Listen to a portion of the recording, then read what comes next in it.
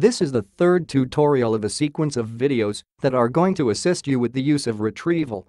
In order to obtain performance evaluation reports using dissimilarity matrices and classification index files. First you have to sign in with your credentials.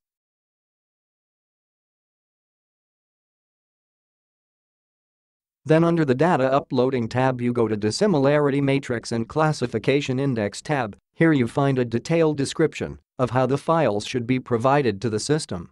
A template of such files is provided from Retrieval. Retrieval offers a variety of delimiters in order to assist the user. Locate your files on your local hard drive. Select the use delimiter in each file and press Upload files.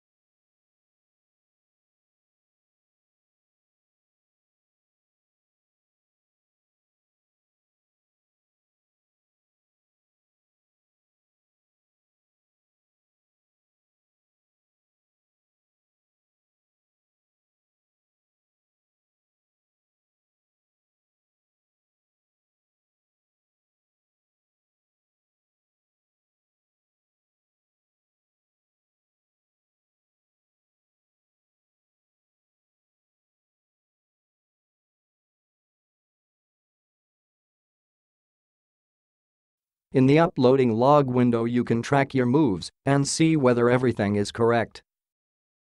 Since the files are uploaded and transformed you are noticed by the system that you can visualize your evaluation under the tab Performance Graphs and Scalars. Select from the drop-down menu your file and press Submit. The visualization can become time-consuming on large benchmark datasets.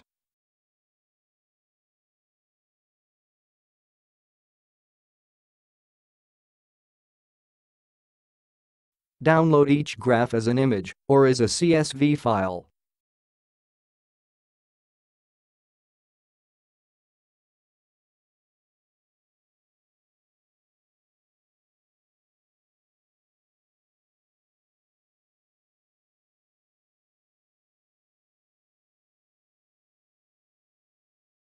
In order to download the reports you have to navigate to the File Handling tab and select either one or multiple file to download.